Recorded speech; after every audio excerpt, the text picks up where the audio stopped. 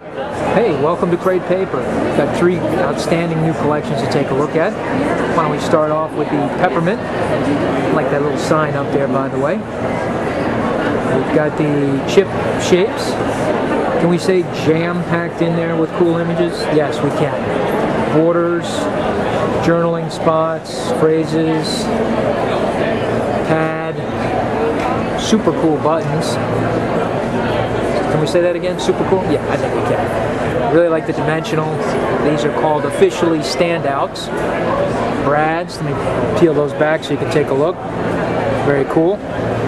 Liking that trim card as well. Sticker sheet down below. And moving over here, we can kind of get a feel for some of the papers. Got them dangling up here with the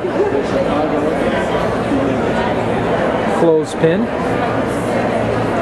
nice Christmas feel. Now, swinging over here to my left, we've got the farmhouse collection.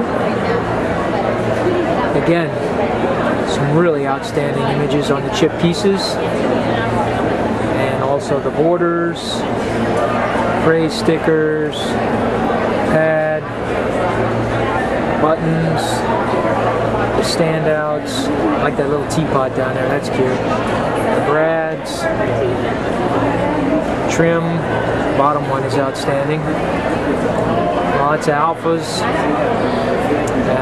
That's the collection kit over there. And let's take a look at some of these papers as we, as we can here.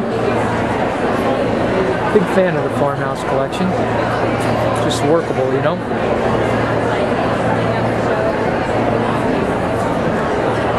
All right, hang on, we got one more to look at. And lastly, the random collection.